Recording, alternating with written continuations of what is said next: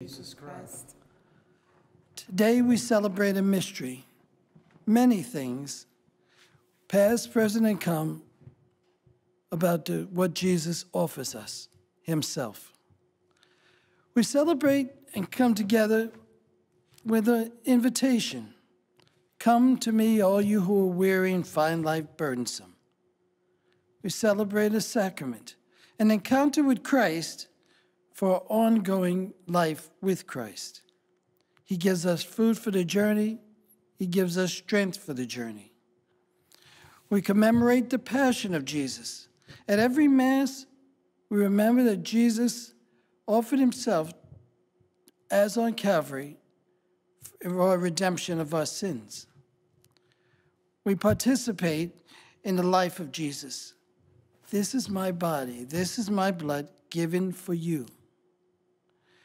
We have the memorial of his passion and death. As on Good Friday, we never forget what God has done for us. Done not only for us, but for the many. We celebrate a meal with the risen Christ. Just as the Last Supper with the disciples at Emmaus, or when he cooked breakfast on the beach, Jesus asked for our fellowship, that we come together to be with him. We celebrate today a sign of hope for the coming kingdom of God. We will pray the Our Father, thy kingdom come. And we pray that sacrament of the Eucharist is a sacrament of unity, that all people may come to believe that Jesus is Lord.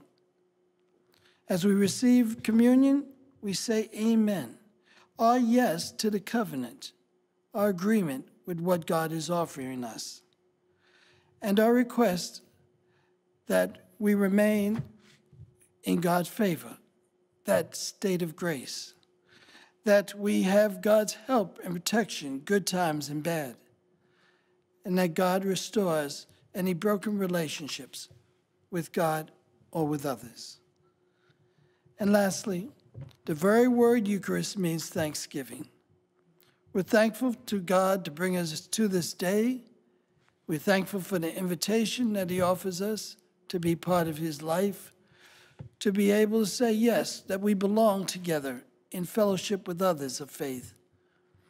And we acknowledge Jesus as our Savior and our Lord.